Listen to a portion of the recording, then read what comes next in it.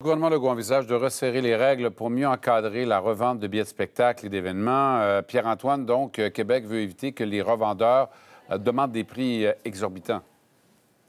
Oui, Michel, on a eu euh, d'ailleurs différents exemples dans les derniers temps. On n'a qu'à penser, entre autres, à la, cérémonie euh, nationale euh, au Centre Bell en hommage au chanteur des Cowboys fringants, Carl Tremblay. Ce sont des billets qui étaient gratuits, premier arrivé, premier servi, mais on a réussi quand même rapidement à trouver des billets qui se vendaient à 500 dollars sur Internet et sur les réseaux sociaux.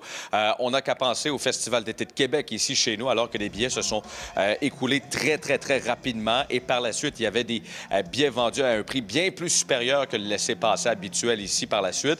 Et aussi à la grande tournée, par exemple, de Taylor Swift, euh, des euh, tournées internationales, des billets qui étaient vendus complètement à un prix de fou. Là.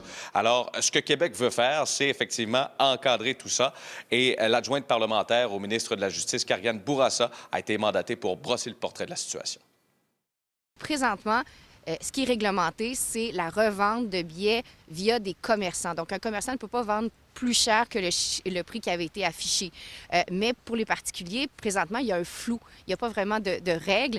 C'est sûr qu'on ne veut pas éviter euh, une personne, par exemple, qui se casse le pied, euh, de pouvoir revendre son billet. On ne veut pas nécessairement aller là. Mais comment faire pour éviter que ce soit une seule personne qui achète euh, 1000 billets, par exemple, et qui le revendent beaucoup, beaucoup plus cher pour faire de l'argent en créant une, offre et une demande qui, qui est fausse, dans le fond?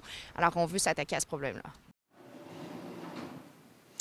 Euh, Michel, ce à quoi la députée euh, de Charlevoix-Côte-de-Beaupré faisait référence, c'était à cette loi là, qui a été euh, entrée, en- qui est entrée en vigueur en 2012. Le gouvernement québécois, à l'époque, avait fait adopter à cette loi qui interdit la revente de billets de spectacle ou d'événements sportifs ou culturels à un prix supérieur auquel le producteur de spectacle ou de l'événement l'autorise. C'est l'Office de protection du consommateur qui est en charge de faire, si vous voulez, administrer cette loi, mais elle n'a pas le pouvoir nécessaire sur la revente de billets entre particuliers.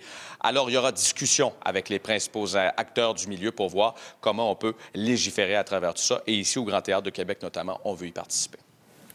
Merci beaucoup.